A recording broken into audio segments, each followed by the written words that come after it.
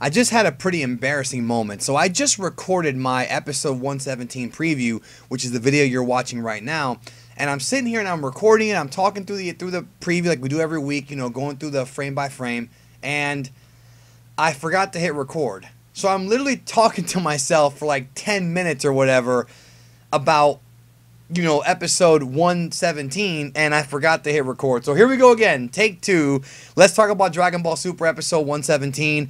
Ultra Instinct Goku eliminates Kefla. Um, very surprising. Well, actually, it really wasn't when the spoilers had come out. I knew they they were going to get thrown out because there was no mention of them for 117.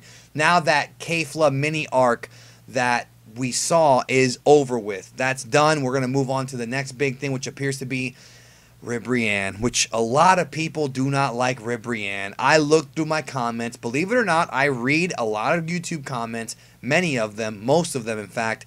And I would actually be willing to say that out of my audience, about 80% of you guys do not like Ribrianne, or you did like her and you're tired of her now.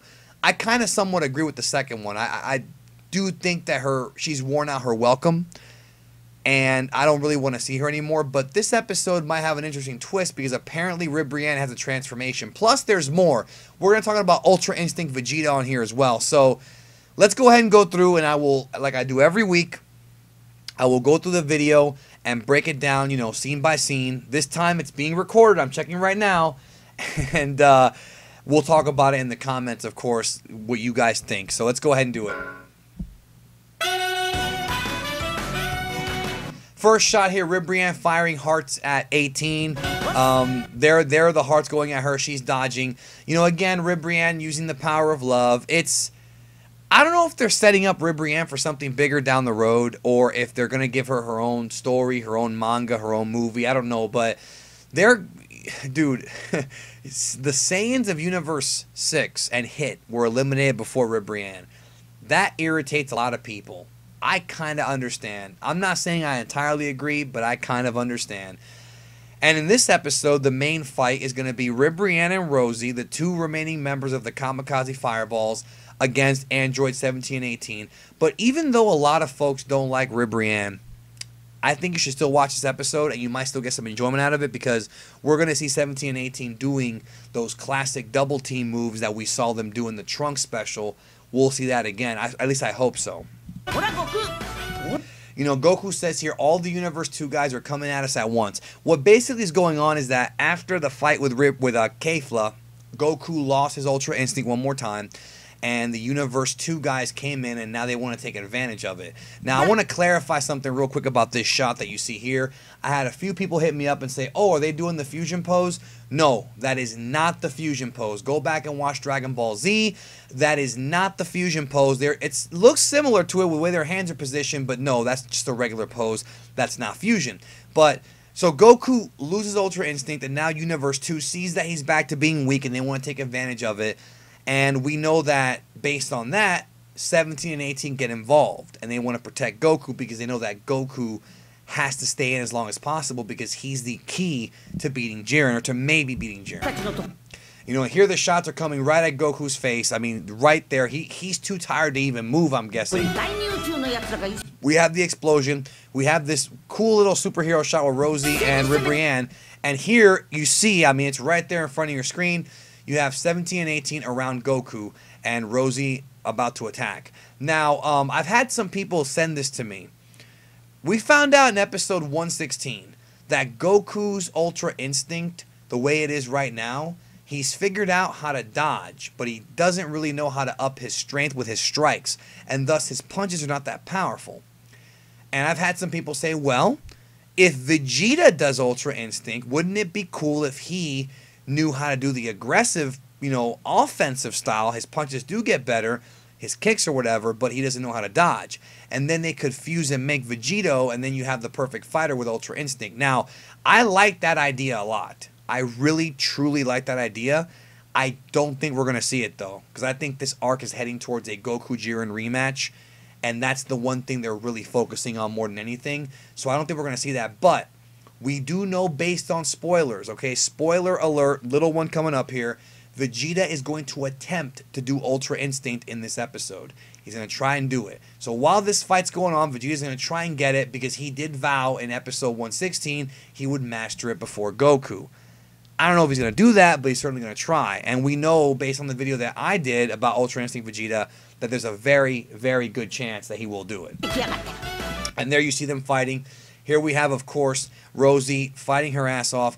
Goku says Ribrianne uses the power of love for a terrifying transformation. Now, that's the big twist here, is that Ribrianne does indeed have a transformation. I'm going to show you guys a little sneak preview of it very soon. And here we have 17 dodging. And there we have Rozie doing the um, the ki blast she can control. Now, while this is going on, and we're going to talk about this in a moment, a little bit more detail. While 17 and 18 are fighting Ribrianne and Rozie, the other Universe 2 guys like Zarbuto and the big General Rilldo looking guy, the red dude with the gem in his head, I forget his name, they're going to go after Goku. So I guess someone else going to have to come in there and help. Now, as far as I know, Gohan and Piccolo are still fighting the Universe 6 Namekians, the last two guys left. But, but, where's Frieza? Will he help out Goku? You know, there's still other people who can help him out. Vegeta, He's trying to get Ultra Instinct. Will he get involved? You know, and here and there you see Zarbuto. Now Zarbuto is a. I've talked about this before, but there are new subscribers. By the way, I think we're at 400,000 subs. I'm recording this late at night, Sunday morning, Saturday night. I think we're there already. If we're not, we'll be there soon. If we are, thank you. I'll, I'll do a video about that later in the week. Um, but I wanted to point out here that you know Goku says this is going to be an ugly battle, which go ahead and make your Ribrianne jokes all you want. But um, here is Zarbuto, who is a Sufurian from Universe 2. Uh, of course, a Sufurian is a Tuffle in the English dub, the race that fought against Goku, not Goku, the race that fought against the Saiyans many, many years ago for Planet Vegeta, which was called Planet Plant back then. Now, that backstory, even though it was not in the manga, was written by Toriyama, and it's in Dragon Ball Z episode 20. So if you want to revisit that story, Go look up Dragon Ball Z episode 20. Watch it in Japanese though, because the English one has some weird translation problems that don't make any sense, like the Arcosian thing. That's fake. I already debunked that. But Toriyama did write the story, so the question is, how does Sufuria end up in Universe 2? Same thing with the Yardrat. I'm hoping, I don't know for sure, but I'm hoping that we are going to get that explanation here in this episode.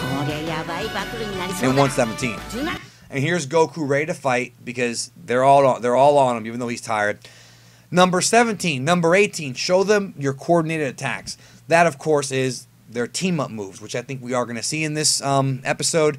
And I think that it's going to be cool to see them do that again, like in the Trunks arc. And here he is. I mean, that's what I was telling you about. There's Goku surrounded by Universe 2.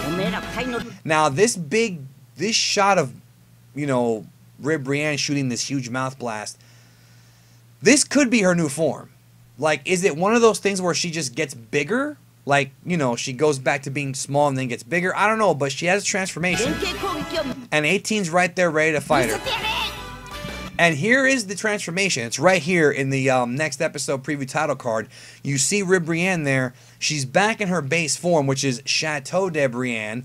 No, Brienne de Chateau. I got it backwards. Anyways, She's about to transform. You can tell she is right there. She's holding herself. We're going to get a new Ribrianne.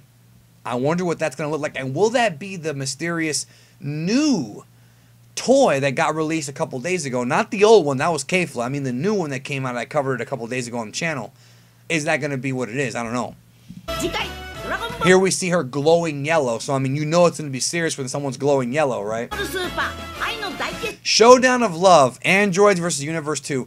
It looks like what's happening here is it looks like 18 is stuck in some kind of like heart prison or something made of energy while Ribrianne transforms. Maybe 18 would not let her transform, so Ribrianne's going to encase her in this energy so she can transform.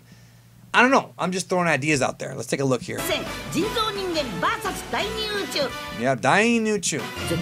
And here we have Ribrianne with her eyes closed and fade to white. So, yes, Ribrianne has a transformation.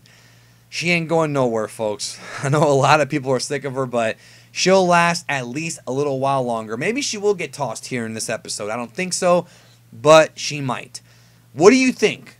Is Ribrianne's new form enough to get you interested in her character? I highly doubt anyone's going to say yes to that, but I still wanted to ask. And what do you think about this upcoming episode? Um, I think it's good we're seeing 17 18 in action again. And there's 18 with a shocked look on her face. Also, Ultra Instinct Vegeta. He's going to try to do it. Probably not succeed, but he's going to try. That's coming up next week. So this is your preview. Also, I got a video coming out tomorrow right here on Geekdom 101. First of all, if you haven't watched the truth of Dragon Ball GT, you got to watch that video because I don't care if you love or hate GT. I broke down a lot of the behind the scenes that nobody knew about that series, both the beginning of the series and the end of it. And there's tons of information there that, you know, tons of misinformation for years that I'm clarifying in that video after doing a lot of research. So check that video out if you haven't. But tomorrow, right here on the channel, the tingly back, the Super Saiyan tingly back that people hated, guess what? There is an explanation.